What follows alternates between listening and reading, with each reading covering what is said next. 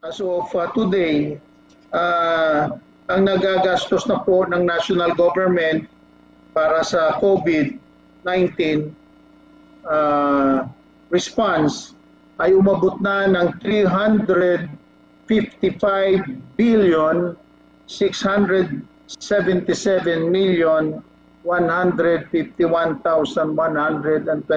pesos.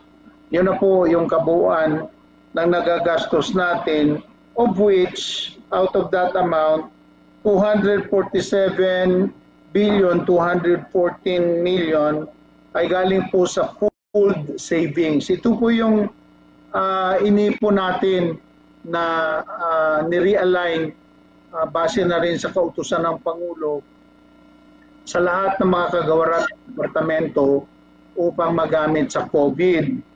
Ang 96 billion, uh, 717 million naman, ayun yung sa unprogram appropriation. Ito po yung binigay o sinertify ng Department of Finance na ginamit natin principally doon sa 51 billion na uh, subsidy para sa mga nangawalan trabaho ng micro, small, and medium enterprises at uh, yung 45.7 uh, billion na nirelease natin sa Department of Health para matugunan lahat ng pangangailangan dito sa uh, COVID-19.